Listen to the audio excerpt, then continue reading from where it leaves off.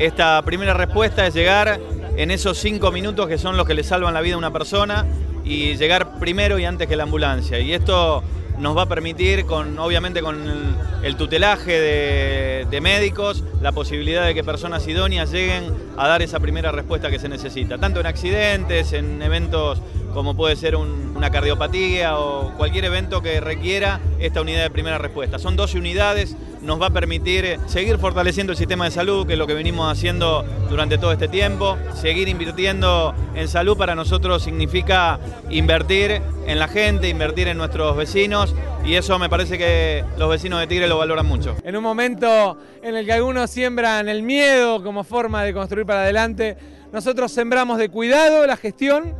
de cuidado de la gente la gestión y sobre todo de esperanza para el futuro el mensaje, de decirle a la gente que este es el país en el que tenemos que vivir, en el que las ambulancias, los servicios de emergencia rápida den respuesta real, que estén asociados a botones de pánico, a centros de monitoreo, que sean parte de la forma de darle respuesta desde el Estado a la gente. Este sistema es un sistema que funciona en otros países,